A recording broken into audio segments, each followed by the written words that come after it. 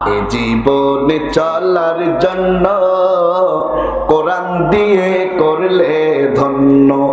নবীর গাদিস ভুলতে রে জীবনের মালে তুমি ছাড়া জীবন চলে না। ও রে জীবনের মালে তুমি ছাড়া জীবন চলে না।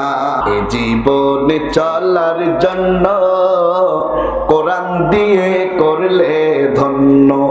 নবীর গাদিস ভুলতে জীবনের মালিক। তুমি ছাড়া জীবন চলে না।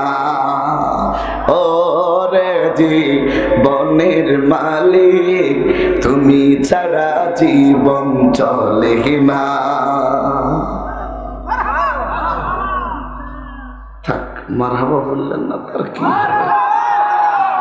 এই বাংলাদেশে গান গেয়ে যারা বাজারে বাজারে একসময় গান গাইতো, তারা গান গাইতে গাইতে এখন সংসদে। কথা হয় না। আর আমরা ইসলামী সংগীত গাইলে একটা মার হাবাও জোরে না। এ কপাল। জোরে কোন মার হাবা আর বলে দেওয়া লাগবে? বলে দেওয়া লাগবে না তো? আমাদের দলের লোক আর থাকবে? কে বলতেছে? ঠিক আছে, কালকে থেকে আর আসবে না। আমিও আসব না। আবু জেহেলের পাক্কা নিয়ম কালকে থেকে তোমরাও আসবা না, আমিও আসব না। ঠিক আছে, পাক্কা নিয়ত করে যখন চলে গেল, আবু জেহেল বাড়িতে যাওয়ার পর আবার গভীর রজনী যখন হয়ে গেল, আল্লাহ নবীজির তেলাওয়াত যখন তাদের কানে চলে গেল আবু জেগেল এ কথায় বলছে, আমি মুহাম্মাদের তেলাওয়াত শুনলে নিজেকে স্থির রাখতে পারি না। মুহাম্মাদের তেলাওয়াত শোনার জন্য আমার মনটা ছটফট ছটফট করে কখন যাব শোনার জন্য? কারণ আবু জেহেল তো মানুষ। আবু জেহেল জানে মুহাম্মদ যে তেলাওয়াত করছে, এটা আল্লাহর কিতাব।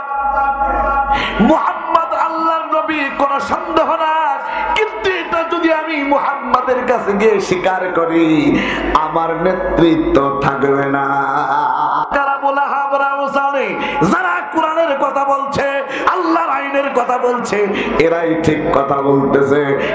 এদের কথা যদি আমার নেতৃত্ব থাকবে না।